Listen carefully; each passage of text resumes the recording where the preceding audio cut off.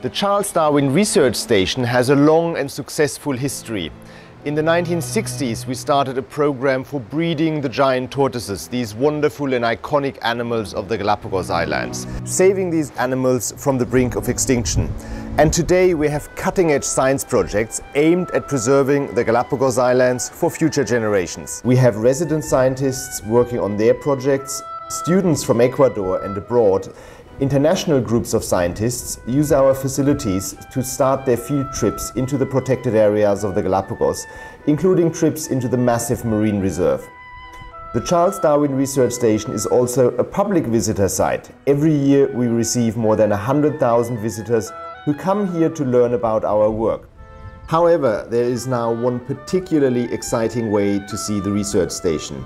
We are now offering a behind the scenes tour as one of the benefits of our exclusive program for supporters of our organization. The very small number of visitors to whom we can make this tour available can expect to hear firsthand from some of the scientists about the exciting work they are doing here in this UNESCO World Heritage Site.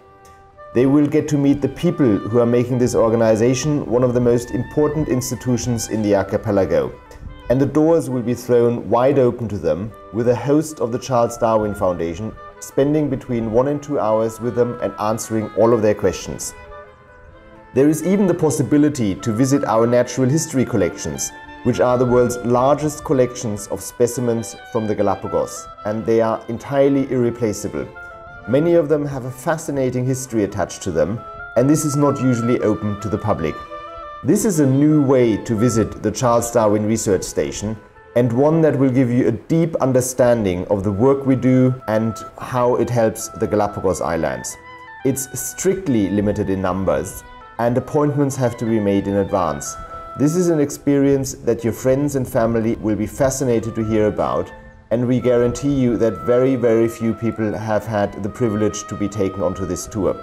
The Charles Darwin Research Station is continuously working to inform the public about its work and this is the best way for you to be part of this. We're very much looking forward to welcoming you here.